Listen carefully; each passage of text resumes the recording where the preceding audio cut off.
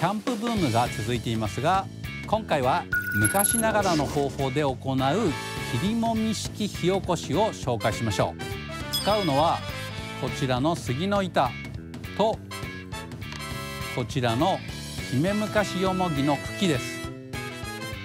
これが姫昔よもぎです。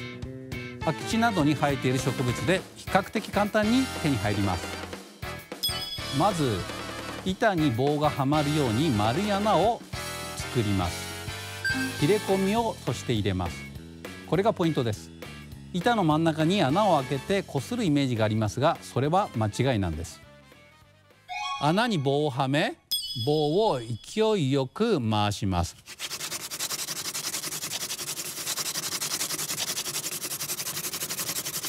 摩擦で温度が上がってくずが切れ込みに溜まっていきます。さらに温度が上がると木くずが黒くなってきました。黒くなった木くずが溜まることで温度が上がり内部から発火し煙が出始めます。ここに息を吹きかけると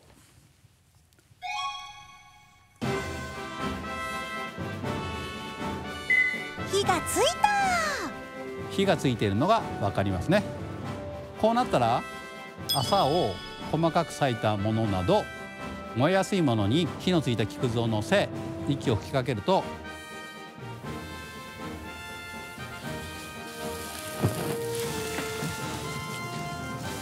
切りもみ式で火を起こすことができました。りもみ式は棒を回しながら板に強く押し付けるのが意外に難しいんです。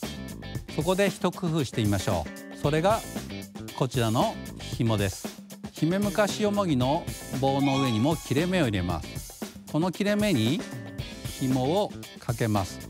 そして紐の端の輪に親指を通します。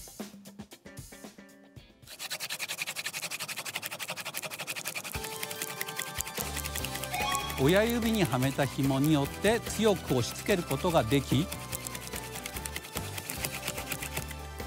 手のひらだけでやる場合よりも簡単に火を起こせます。